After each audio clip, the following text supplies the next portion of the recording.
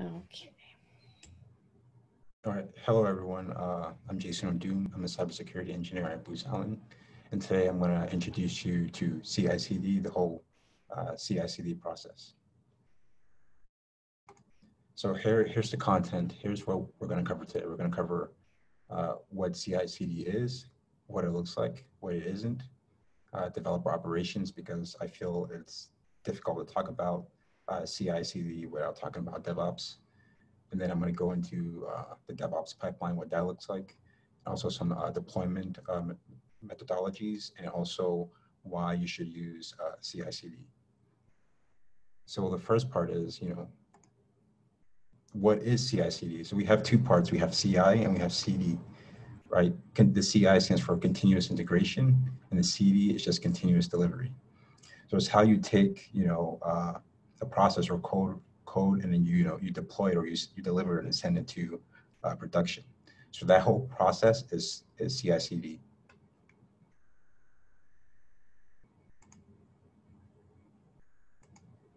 Well, let's dive a little deeper into into uh, what it means. Right, code is committed frequently. That means, uh, you know, every couple of minutes. The reason why this is important is because it allows us to avoid uh, merge conflicts or issues in the future, and I'll get into that a little bit later. But not only uh, not only do we commit it frequently, we also test it. The testing is really important because as it moves through different stages or environments into uh, to production, we have to make sure that any errors are caught before you know the whole world uh, sees them, before the end product uh, you know is used.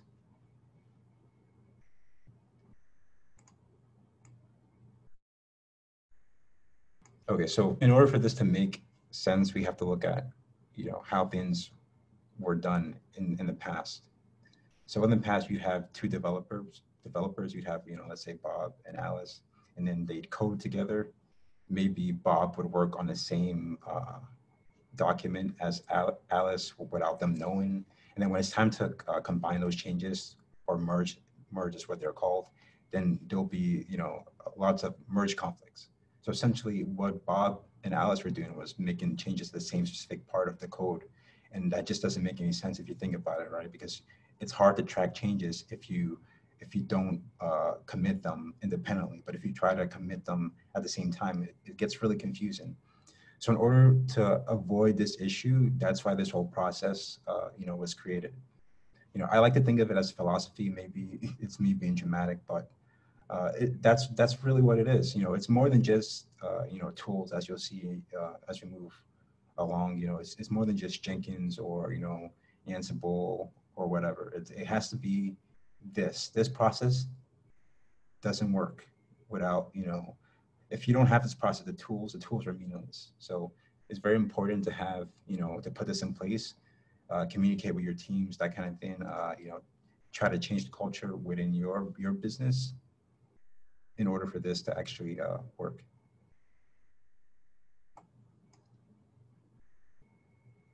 All right, so this is this is the new way. This is how we solve the problem. We're committing code uh, frequently, right? We're not waiting uh, an hour or two. We're not waiting for uh, for days. We're doing it instantly. Whatever changes we make, we commit. This way, it's also easier to track. This is actually what's recommended when you uh, you know when you commit uh, something to, you know, version control. It doesn't have to be Bitbucket. It doesn't have to be GitHub. It can be GitLab. So whatever, whatever your business decides to use, uh, this is what you do. You commit every single time you make a change. And then you push it, right? And then it gets tested. And when that test uh, passes, sorry, you push it, it gets built, and then that build gets tested. And if that build uh, passes, only when that build passes, then it gets pushed to uh, production right? But it really depends uh, on you because I've seen I've seen it uh, differently. Uh, different different uh, you know companies uh, have have a, a, similar process, but it's not always the same. Some people would will choose to you know get rid of that development environment and just go straight to testing environment, and then you'll have a staging environment, then you'll have a production environment. So it depends on what works for you.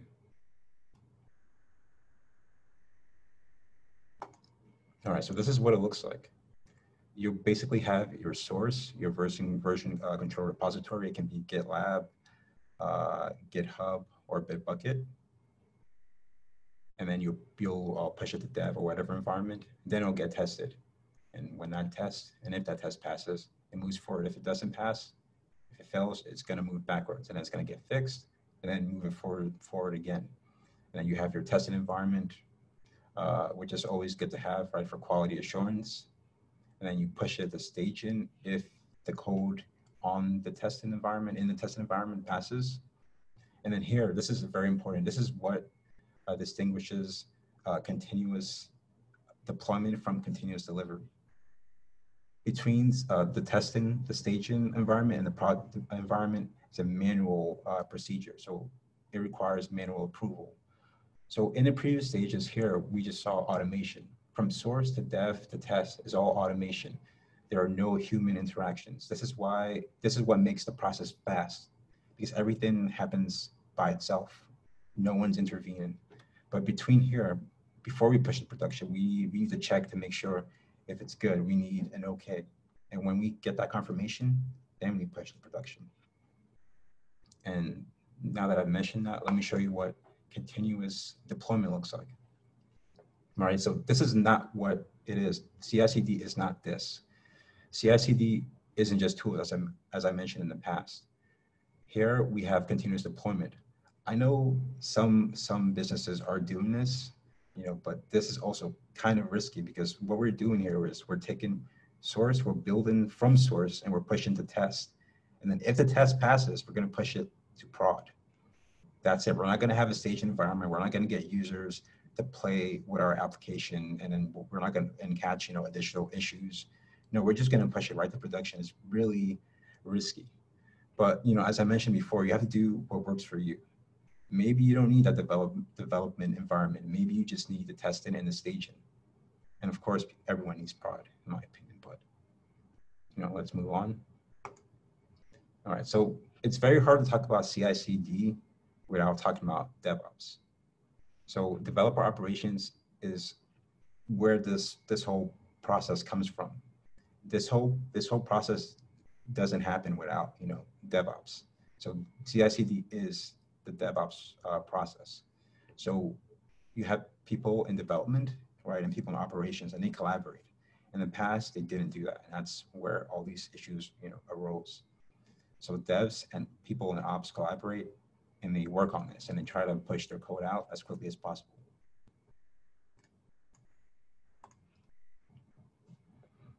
But here's, here's more information on developer operations. So we use the pipeline to automate this whole uh, process. So as you saw in the previous slide, when we had uh, our, our dev environment, we had the source uh, box, and we had the dev environment, and you know all the other, all our other environments. Uh, in between the source, or actually rather the source, that whole that source box represents the pipeline. For example, Jenkins is you know as a pipeline. Jenkins will build your app, it will test your app. Everything happens on Jenkins. The only thing that doesn't happen in Jenkins is the deployment. You, as a business or as a person, choose what deployment procedure or application or method that you want to use. And I'll get into that uh, more a little later. So yes, the pipeline is part of the process, but it is in the process. Like as, as I mentioned, the process is this, is this uh, quote unquote philosophy. And it requires people to come together, uh, to plan and decide what is gonna work best for them. So here's, here's how that looks like, all right? So in the DevOps pipeline, we have our CI server, our continuous integration server, an example of that are Jenkins, Travis, CI, AWS Code Pipeline. Uh, Jenkins is self-hosted. You can host that yourself. Travis is a service. So, you, you know, you, you pay for that. And what I believe is a free tier uh, also. And of course, you know, everyone's familiar with AWS. And then we have the storage repository. So what the storage repository is, is basically we have, uh, when we build the application, we have an artifact. The artifact is just the result or you know the outcome of that application, you know the quote unquote compiled version. We push that uh, that version or or the application to a repository, sort of like you know how we store source code in uh, Bitbucket or GitLab. but there are repository uh, managers created, you know, just for this. So we have JFrog Artifactory. You can even store them in S3 or even Docker, Docker Hub. If you're building Docker containers, you can tag them appropriately to manage different versions. But then how do we move these artifacts, these versions from the repository to production or wherever environment that we want to deploy to? And that's that's where you know the CD platform comes in. You have to choose the CD platform that makes sense for your for your business, for your or for your application, your workflow. So we have many uh, different options, such as Ansible, Spinnaker, Circle CI, GitLab, or you can even use GitHub. And Ansible is pretty uh, pretty painless. Spinnaker is feature rich. You can do a lot of things with that. And here's more uh, details on what that looks like. So to break it down, uh, think of this as more of a detailed image uh, compared to the previous one I showed you uh, with, uh, you know, the whole box method. So we build the application from, well, we pull from source control, then we build from source. When we build from source, we execute those unit tests. And this part will look different depending on, you know, teams. You know, I know, you know, most teams aren't running unit tests. Maybe they're running smoke tests or or some other test, whatever makes sense for you, uh, depending on you know the size and time that's available.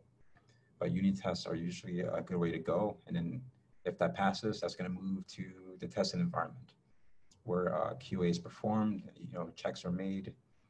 And then here's the part that you wait for approval. If everything is good, then it's going to move forward to production. And there are different uh, deployment strategies. So here are some of the deployment strategies. You have uh, blue green where you have uh, two different versions. So version B is released alongside version A, and then the traffic is uh, switched to version B. And then you have A-B testing where you have a version B is released to a subset of users under a specific condition. And then we have the recreate deployment strategy where version A is terminated, then version B is rolled out. And then we have the atomic version, atomic deployment, where we basically uh, deploy uh, via symlink. This is actually really helpful if your application is huge and has a lot of files where you copy, you know, uh, the new version of an app into a different or separate directory or location. And, and then once that's done, once that's ready, provision everything ready to be uh, served to the user, then you switch to symlink and then you you you publish uh, that version and no one rarely knows this. It's called zero downtime zero downtime deployments for a reason because you're meant to basically publish a new version of the app without you know taking down the whole uh, instance the whole website. And then we have canary uh, deployments where uh, new features are rolled out to selected uh, select users.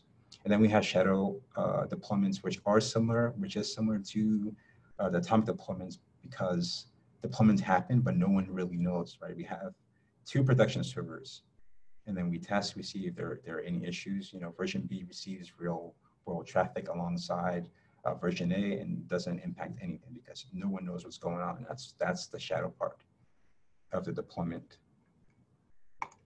So here's here's why you should use it. You know, you want to move fast, but you don't want to break anything. You you want minimal issues.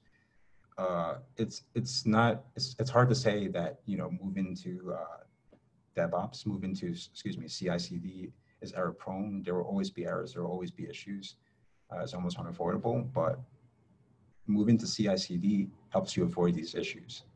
Uh, I didn't really get uh, into DevOps, and that was on purpose. Uh, there was a, a, presentation that was given about two weeks ago by Stephen Tarana, who's also at Booz on DevOps, and that's, you know, I highly recommend you watch that. But I can't, I couldn't talk about CI/CD without mentioning a little bit of DevOps. So it's important that you automate your workflow, automate uh, your code. When you push code, make sure that you know it always gets tested. If you know, I think one one takeaway, one huge takeaway, is always test your code. Test before you you push to production if you don't test, then you're going to have lots of issues when you deploy to different, uh, well, hopefully different environments. And then you hopefully you can catch them before it goes to production. But if you're doing continuous deployment, then good luck because you know you're probably going to deploy uh, lots of bugs, and then you're going to go down and have uh, lots of problems. So yeah, deploy deploy to multiple environments to help limit those issues. And this just basically allows you to, you know, developers to focus on development. That's what developers should do. They shouldn't have to worry about uh, systems. So yeah. If there are any questions, uh, feel free to ask them in the chat.